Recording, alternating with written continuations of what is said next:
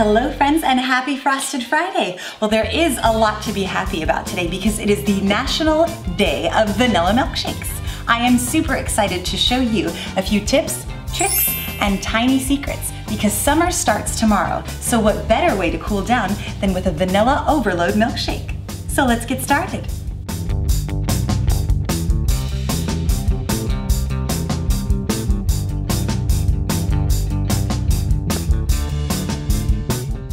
Some of you may be thinking to yourself, oh, vanilla, that's kind of a retired flavor, but not with this recipe here. So let's get started here with our vanilla ice cream.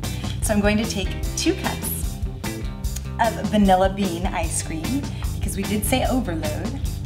So we're gonna get as much vanilla flavor as we can in here. And two cups is about four scoops of ice cream. So we've got two so far. And one more, four. Perfect, and I'm scooping these out right into my blender, just like that. Next, I've got one cup of cream, right in as well. I've got a tasty tablespoon of vanilla extract. Now when I say overload, I mean overload. So I've also got a cup here of vanilla sandwich cookies right on top. Sprinkle. And then we mix, mix, mix.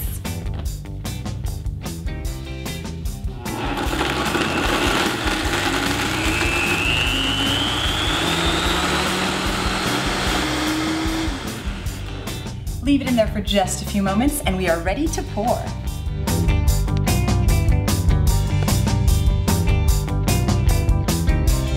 The creamy texture on this milkshake is perfect for sipping, but I can't wait to top it up. So first, I've made some homemade whipped cream, and I'm going to put it right over the top. Mm -mm -mm. What's a milkshake without whipped cream, right? Perfect. Next, we're gonna drizzle on some white chocolate.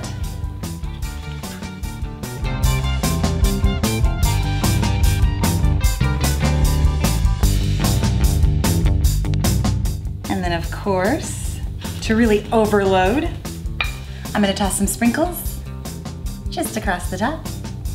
Ooh. And one of our vanilla sandwich cookies right to the side. Perfect for summer. Mmm. That is so tasty. You're gonna have to try this at home. now, if you like this video, give it a great big thumbs up and subscribe. We post new videos every Frosted Friday. We'll see you next time.